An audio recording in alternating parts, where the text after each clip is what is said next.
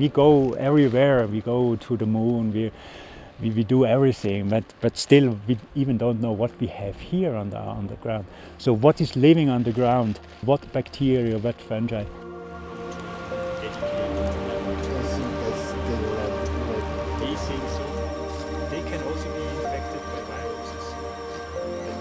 We constructed um, a filter apparatus.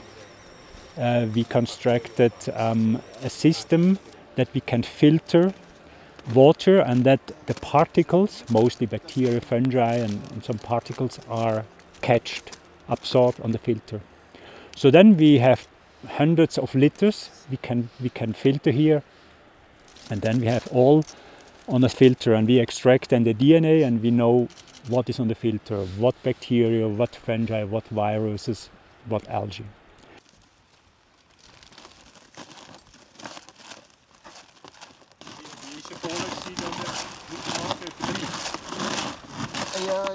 I like being in the mountains. I like being in nature.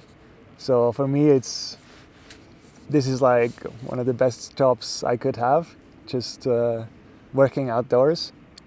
So I don't really mind also being a bit cold every now and then if I'm able to see this view while working.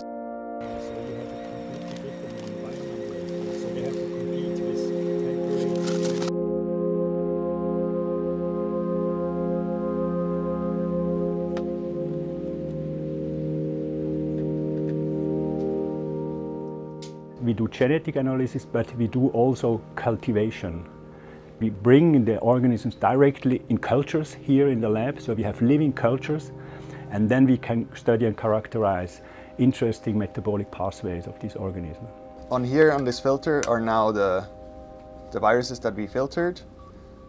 So what we do basically is we cut up the filter in, in smaller pieces.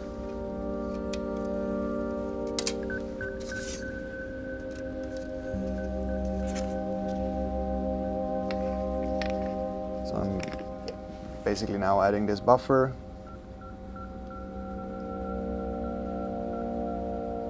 Now I'm just gonna put uh, these viruses in a room that is at four degrees. It's uh, just a big fridge because we want to keep them always cold.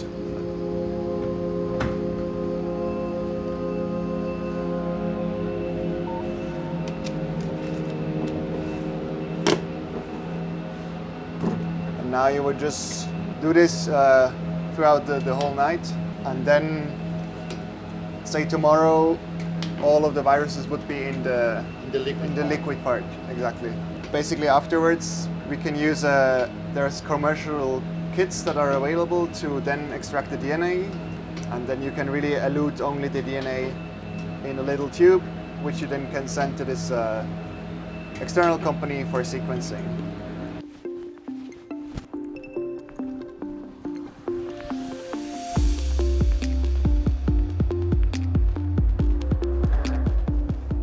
have bacteria and fungi, around 1,500 isolates.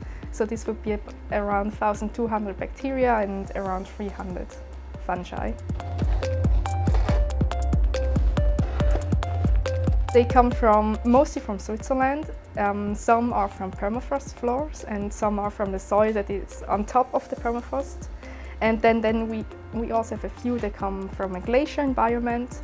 And then we have some others that, that are not from Switzerland, but from northern Greenland or Svalbard, so from Arctic environments. So at the moment we are screening these microorganisms for plastic degradation to see whether we have some isolates that could potentially degrade plastic. And we also screen them, for example, for antibiotic production. Here is an electronic microscope.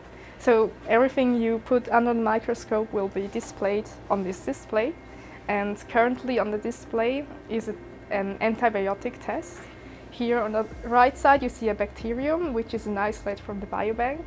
And then on the left side there's a fungi growing. But here in the center we have an area where the fungi doesn't grow. And so this shows that this bacteria secretes some antibiotic that inhibits this fungi from growing.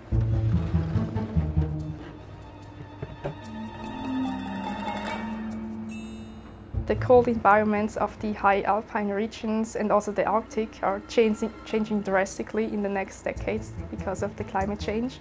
And when these cold environments disappear, we also have a lot of cold adapted microorganisms that can't survive this new environment.